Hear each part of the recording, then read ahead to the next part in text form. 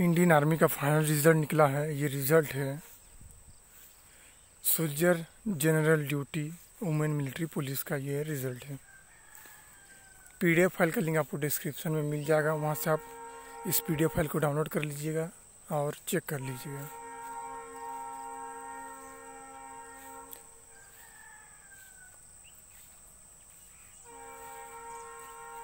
Army recruiting office दिया गया है और कितने कितने कैंडिडेट का नाम है। कौन सी आर पर? वो भी दिया गया है यहाँ पर। ए आर ओ आगरा छः कैंडिडेट का नाम शामिल है।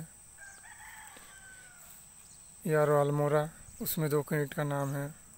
ए आर ओ अमेठी उसमें तीन कैंडिडेट का नाम है। ए आर ओ बरेली, उसमें एक कैंडिडेट का नाम है। ए आर ओ लेंसडाउन है, उसमें दो कैंडिडेट का नाम है। ए आर ओ मेरठ, उसमें सात कैंडिडेट का नाम है। A R O R O headquarter Lucknow. उसमें चार कैंडिडेट का नाम है। ए आर ओ वाराणसी, उसमें पाँच कैंडिडेट का नाम है। इसका जेड आर ओ है लखनऊ। एक पेज का पीडीएफ फ़ाइल है। प्रिंट डेट टाइम है पाँच नवंबर 2019 दोपहर का दो बजे।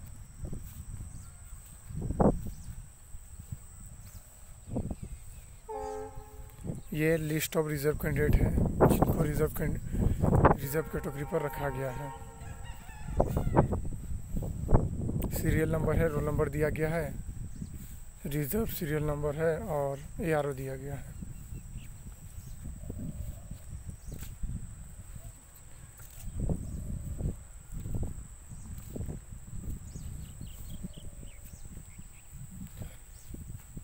रिज़र्व कैटेगरी में थर्टी कैंडिडेट को रखा गया है।